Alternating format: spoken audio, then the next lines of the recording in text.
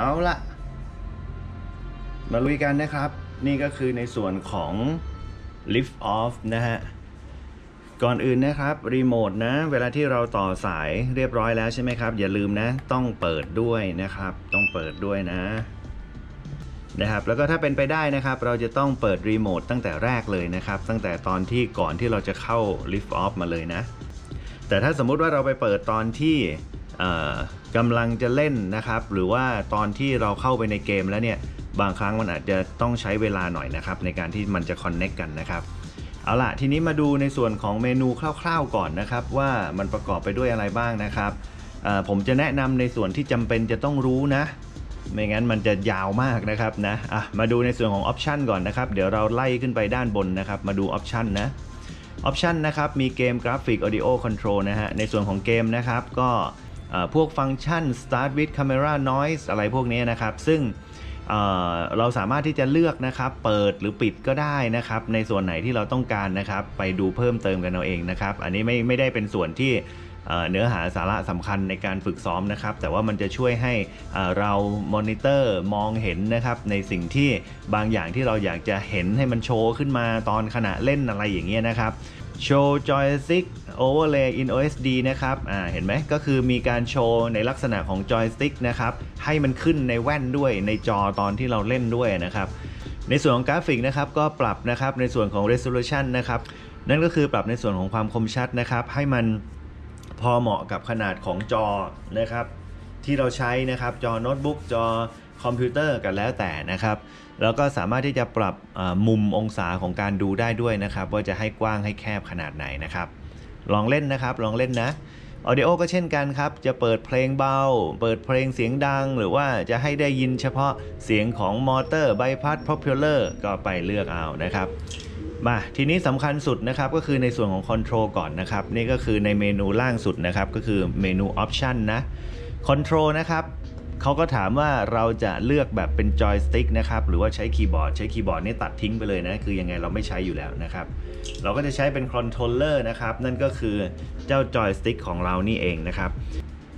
เลือกเสร็จแล้วนะครับ มันก็จะขึ้นหน้าแบบนี้ขึ้นมานะครับ ดูนะ ถ้าจอยสติ๊กที่ถูกต้องนะครับ คือมันจะต้องเป็นแบบนี้ ดูนะครับ ขึ้นบนเห็นไหม ดูลำด้วย แล้วดูมือพี่ไม้ด้วยนะครับ แล้วก็ดู ในหน้าจอด้วย คือมันถูกต้องเห็นไหมครับ ซ้ายขวานะครับ ฝั่งขวานะครับ เห็นไหมฟลิปนะครับก็คือเป็นแกนพิษนะครับโรนะครับ อันเนี้ยถูกแล้ว เพราะว่า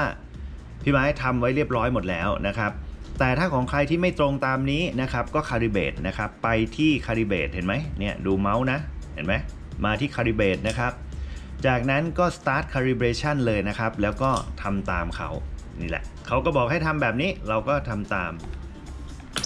อ่า เสร็จแล้วให้ restick กลับมาอยู่ตรงกลางนะ restick นะฮะ พอกลับมาอยู่ตรงกลางแล้วใช่ไหมครับ เนี่ย ตอนเนี้ยถ้าสมมุติว่าขึ้นแบบเนี้ยเขาบอกว่าจะมีบางสตริกเนี่ยที่คือมันไม่กลางนะครับ ดังนั้นเนี่ยเราจะต้องปรับสติ๊กของเราเนี่ยคือให้กลางนะครับ แล้วก็บอกเขาว่าอันเนี้ยคือมันกลางของเราแล้วนะครับ ก็คือให้ use ตรงนี้แหละ อ่าหลังจากนั้นทำตามเขานะเขาก็บอกว่าให้เอาขึ้น แล้วก็กลับมาตรงกลางอีกนะเขาก็จะเซฟนะ ต่อนะครับ ด้านนี้เอาขึ้นแล้วก็กลับมาตรงกลางอีกทำตามที่ตัวอย่างที่เขาแนะนำเลยนะครับ ต่อไปขวาแล้วก็กลับมาตรงกลาง ไม่ยากนะครับไม่ยากนะ ต่อไปด้านนี้ขวากลับมาตรงกลาง เสร็จเรียบร้อยครับเขาก็บอกว่าเจ้าตัว center ของเราเนี่ยคือบางครั้งน่ะเราน่ะไม่ได้เอา center เนี่ยกลับมาอยู่ตรงกลางใช่ไหมเขาก็เลยจะให้เรา confirm ว่า center ของเราน่ะคือตรงไหนกันแน่ แล้วก็ confirm กับเขาว่าตรงนี้แหละของเราเนี่ยคือมันกลางแล้วเรียบร้อย ตอนนี้เสร็จแล้วนะ เสร็จแล้วเราก็ save นะครับ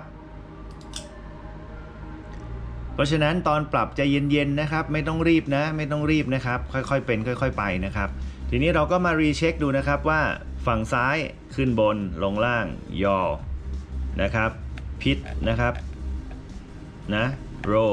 เนี่ยถูกต้องแค่นี้เองครับ เสร็จละ แล้วก็อย่าลืมนะครับกด save นะเมื่อกี้พี่ไม้กดละนะครับ save เสร็จแล้วก็ใช้ได้นะครับ นี่ก็คือในส่วนของจอยสติ๊กนะ เรียบร้อยต่อไปนะครับออปชันจบแล้วนะเคลียร์แล้วนะครับ ต่อไปก็คือเข้ามาในเครื่องมือนะครับ ครื่องมือเนี่ยเดี๋ยวพี่ไม้จะแนะนำก็คือเอเจ้า 2 ตัวนี้เอาไว้ก่อนนะครับ track build นะครับก็คือสร้าง track นะครับแล้วก็ replay นะครับเราสามารถที่จะบันทึกการเล่นแล้วก็มาไล่เปิดดูได้นะ เอาไว้ก่อนเลยหลังๆนะครับ มาที่ workbench ก่อนนะฮะนั่นก็คือการสร้างลำของเรานะครับ ซึ่งเอ่อเบื้องต้นเนี่ยเราไม่ต้องสร้างก่อน เราเอาลำที่มีอยู่แล้วเนี่ยมาใช้ก่อนได้เลยนะครับ แต่พอวันหนึ่งที่เราบินไปแล้วจนเริ่มชำนาญเนี่ยเราจะต้องสร้างลำที่มันใกล้เคียงกับลำจริงของเรานะ ย้ำนะครับว่าเราจะต้องทำลำออกมาให้ในส่วนของการบินนะฮะบินแล้วรู้สึกว่าใกล้เคียงกับลำจริงนะครับไม่งั้นเนี่ยพอเราไปบินแล้วมันจะแตกต่างกันเกินไป แต่เบื้องต้นไม่ต้องก่อนนะครับ beginner มาใช้ลำที่มีอยู่แล้วก่อน เหมือนตอนนี้นะครับถ้าสมมุติว่าพี่ไม้จะสร้างนะครับในส่วนของลำนี้เนี่ยเราจะสามารถทำอะไรได้บ้าง เดี๋ยวพี่ไม้จะทำให้ดูคร่าวๆก่อนนะครับ ไม่งั้นมันจะมาติดอยู่เรื่องนี้ยาวจนเกินไปนะ เราสามารถที่จะเปลี่ยนได้ทั้งหมดนะครับในส่วนของใบพัดจะใช้รุ่นไหนนะครับในส่วนของมอเตอร์นะฮะจะใช้ยี่ห้ออะไรนะครับกี่ kV นะครับในส่วนของเฟรมนะครับก็คือจริงๆอะได้หมดนะครับ กล้องอะกล้องก็ได้เฟรมก็ได้เนี่ยกล้องนะครับไม่ว่าจะเป็น GoPro นะฮะหรือว่าเป็น DVR นะครับ มันได้หมดนะครับ แล้วเราก็เลื่อนไปเรื่อยๆนะครับเนี่ยเราสามารถที่จะเปลี่ยนได้หมดทุกอย่างนะครับ ที่มันขึ้นเป็นจุดๆมาเนี่ยเราสามารถคลิกได้หมดเลย แบตเตอรี่อย่างเงี้ยนะครับ ก็เปลี่ยนได้เห็นไหมจะใช้กี่เอสกี่เซลล์นะครับ เมื่อเราเปลี่ยนไปแล้วเนี่ยในส่วนของอคุณสมบัติของมันก็จะขึ้นนะดูนะเนี่ย บินได้ระยะทาง 9 กิโลเมตร น้ำหนักนะครับ610 กรัมนะครับ แล้วก็ความเร็วนะครับ 168 กิโลเมตรต่อชั่วโมงนะครับ ซึ่งพี่ไม้แนะนำว่าให้ความเร็วเนี่ยอยู่ที่ประมาณสัก 130-140 พอนะครับ อย่าปรับจนไปติด 200 นะ เพราะบินจริงคือเราบินไม่ได้นะครับ ดังนั้นเนี่ยถ้าเราทำตรงนี้เนี่ยให้มันใกล้เคียงนะครับ แล้วก็พอเวลาที่เราไปเทสบินจริง แล้วเรารู้สึกว่ามันใกล้เคียงนะครับ ใกล้เคียงกับการบินของเราจริง ๆ นะ มันก็จะทำให้การซ้อมของเราเนี่ยมีประสิทธิภาพ เวลาที่เราไปบินจริง มันก็จะรู้สึกแบบแตกต่างอะนะแต่ว่าแตกต่างไม่มากนะครับ แล้วเราก็สามารถที่จะเข้าไป edit part นะครับอะยกตัวอย่างสมมุติว่าอ่าพี่ไม้เลือกตัวใบนะครับเนี่ยเลือกตัวใบมาแล้วใช่ไหมแล้วพี่ไม้เข้าไป edit part เนี่ยก็เลือกสีใบได้อีกนะครับอ่าประมาณนั้นนะ ไปลองเล่นดูนะครับ แต่ก็อย่าไปซีเรียสกับมันมากก่อนนะครับ เรื่องนี้นะ โอเค พี่ไม้ back นะครับ เอาไว้เดี๋ยววันหนึ่งที่บินจนชัวร์แล้วนะ แล้วเดี๋ยวเรากลับมาสร้างลำให้มันได้ดั่งใจกันนะครับ ต่อไปในส่วนของ multiplayer นะครับ ก็ถ้าในกรณีที่เราจะเล่นร่วมกันกับใครนะครับเล่นสตรีมมิ่งนะครับ หรือว่าเล่นกันเป็นกลุ่มนะครับ อันนี้พี่ไม้ข้ามไปเลยนะ เพราะว่าตอนนี้เราจะซ้อมคนเดียวก่อนซิงเกิลนะครับก็คือ 1 เดียวอยู่แล้วนะครับ single player นะครับ ก็จะมีในส่วนของ tutorial นะฮะ นั่นก็คือของการฝึกซ้อมนะครับ Quick Play นะฮะ แล้วก็ Free Flight นะครับ Race Freestyle นะครับ เราก็เลือกได้หมดเลยนะครับ ถ้าต้องการบินแบบเร่งด่วนก็เข้าไปใน Quick Play เลยนะฮะ หรือว่าเป็น Free Flight ก็คือบินแบบไม่มีการจำกัดนะครับ Race นี่ก็คือจะมีการแข่งขันมีเส้นทางให้นะครับ อ่า แล้วก็มี Freestyle นะครับ Freestyle ก็บินลักษณะของเหมือนกับว่าบินไปแล้ว สามารถที่จะทำแต้มได้ด้วย เวลาที่เราทำท่าแล้วมันถูกต้องตามกฎตามเกณฑ์ของเขานะครับ ตรงนี้ไปเลือกเอาเองนะครับ ใครจะใช้ตัวไหนก็ได้นะครับ ไปเลือกเล่นเองนะครับ แต่สำหรับการฝึกซ้อมเนี่ยอาจจะเป็นฟรีไฟล์ก่อนก็ได้นะครับ เพราะว่ามันจะไม่มีเรื่องของเอเวลาหรืออะไรเข้ามาจำกัดเรานะครับอะดังนั้นพี่ไม้จะลองเข้า Free Flight ให้ดูก่อนนะเข้า Free Flight ไปแล้วใช่ไหมครับ ทีเนี้ยเราก็เลือกได้เลยนะครับ จริงๆอะมันมีด่านให้เราเลือกเยอะแยะมากมายนะ แต่ว่าพี่ไม้จะไม่เน้นก่อนเอาเป็นว่าด่านแรกก่อนแล้วกันนะครับ เบื้องต้นนะ ไม่ต้องไปเปลี่ยนอะไรมากมาย location อื่นๆเนี่ยเดี๋ยวเราค่อยมาว่ากันนะครับ ตอนนี้เอาเป็นว่าลองเข้าตัวแรกดูก่อน แล้วก็เป็น no track ด้วยนะครับ ก็คือเป็นพื้นฐานหมดเลยนะ แล้วเราจะมาลองดูก่อนว่าเราสามารถที่จะบินได้ไหมเลือกลำนะครับ อาจจะเป็นลำที่เราสร้างมานะครับ หรือว่าเป็นลำที่มีอยู่แล้วแล้วเราเลือกมาก็ได้นะครับโอเคละอะทีนี้นะครับมาดูในส่วนของ คีย์ลัดนะครับที่จำเป็นที่จะต้องใช้นะครับ ดูโหมดก่อนนะครับ ตอนนี้เป็นโหมด Acro ใช่ไหมครับอ่า Acro ก็คือโหมด M นะครับ ก็คือเป็น Manual Mode นะครับของ DJI FPV นะซึ่งเราสามารถเปลี่ยนโหมดได้นะครับ ก็คือมี 3D มี Horizon นะครับ Level นะฮะ เจ้าตัว Level เนี่ยก็คือลักษณะเหมือนกับโหมด N โหมด S เลยนะครับ แล้วก็กดอีกครั้งหนึ่งกลายเป็น Acro นั่นก็คือโหมด M นะครับ เราจะต้องเลือกเป็น Acro ก่อนนะ ถ้าเราจะฝึกโหมด M นะครับ ต่อไปสิ่งที่สำคัญอีกนะครับ นั่นก็คือมุมมองนะครับ เราจะมองแบบเต็มจอหรือว่ามองแบบเหมือนกับอยู่ในแว่น แล้วก็มีสีดำครอบๆอยู่นะครับ ก็กดที่ปุ่ม F นะครับ แล้วแต่นะ รูปแบบของลำนะครับ ตัวนี้พี่ไม้ไม่แนะนำนะครับ แต่ก็เผื่อนิ้วเราไปโดนนะครับ นั่นก็คือเราจะต้องดูแบบในแว่นก็คือเป็นแบบนี้นะครับ ไม่มองเห็นลำแบบนี้นะ บินจริงไม่ได้นะนะครับเรากำลังจะฝึกบินกับแว่น เพราะฉะนั้นก็ให้เป็นภาพเหมือนในแว่นไปเลยนะครับ ไม่ต้องมาดูลำอยู่นะครับ แล้วก็ในกรณีที่เราบินไปแล้วนะครับ แล้วเรารู้สึกว่าอยากจะเริ่มเกมใหม่นะครับ หรือว่ามันเกิดเกมโอเวอร์หรืออะไรก็แล้วแต่กดปุ่ม R นะครับ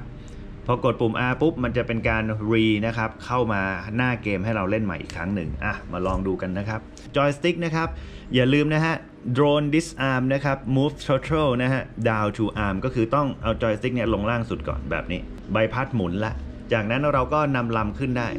แล้วก็บินได้เลย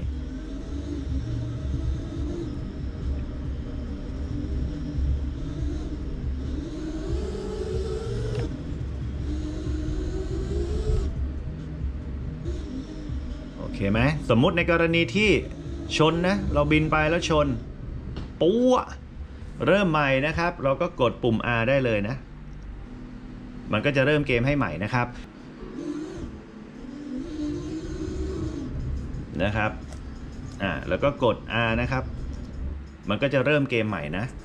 โอเคนะครับ เข้าใจตรงกันนะครับ นี่ก็คือในส่วนของคลิปแรกนะครับ ก็ถือว่าพร้อมแล้วสำหรับการบินนะครับ แล้วเดี๋ยวในคลิปตัวต่อไปนะครับ เราจะมาเริ่มบินกันอย่างจริงจังนะครับ ว่าเริ่มต้นเนี่ยเราควรบินยังไงอะครั้งนี้พี่ไม้บินให้ดูก่อนนะ ดูนะครับตอนนี้อาโครแล้วก็ที่สำคัญอีกตัวนะครับที่ขาดไม่ได้นั่นก็คือในส่วนของมุมกล้องนะครับ กดในส่วนของ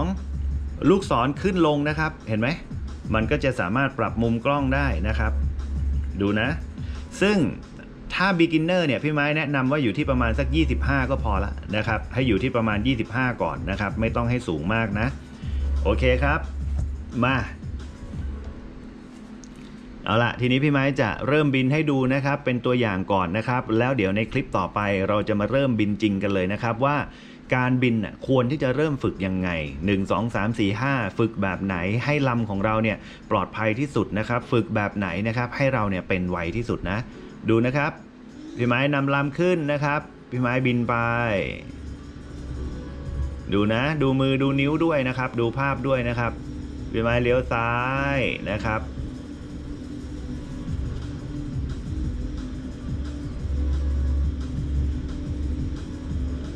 นะครับ แล้วก็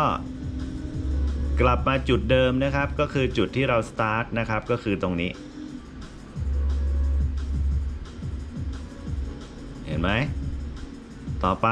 พี่ไม้ไปอีกนะครับ เมื่อกี้เลี้ยวซ้ายใช่ไหม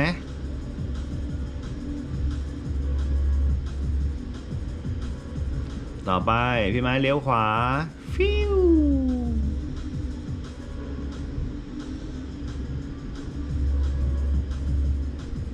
แล้วก็กลับมานะครับ ในจุดที่เราเริ่มสตาร์ทเนี่ยมีตัวเรายืนอยู่ด้วยนะ ดูให้ดีนะ นี่เห็นไหมเห็นไหมเออเฮ้ยเท่นะ เอาล่ะโอเคนะครับ ดูเหมือนจะง่ายนะ ที่พี่ไม้บินนะครับ แต่ในความเป็นจริงคือมันก็ไม่ง่ายนะครับสำหรับมือใหม่นะครับ ดังนั้นเนี่ยทำยังไงที่จะให้บินได้แบบนี้นะครับ ก็เดี๋ยวดูในคลิปต่อไปนะครับอ่าเดี๋ยวพี่ไม้ยกตัวอย่างก่อนนะว่า beginner เข้ามานะครับ จะต้องเจออะไรบ้างนะครับอ่าเดี๋ยวดูนะ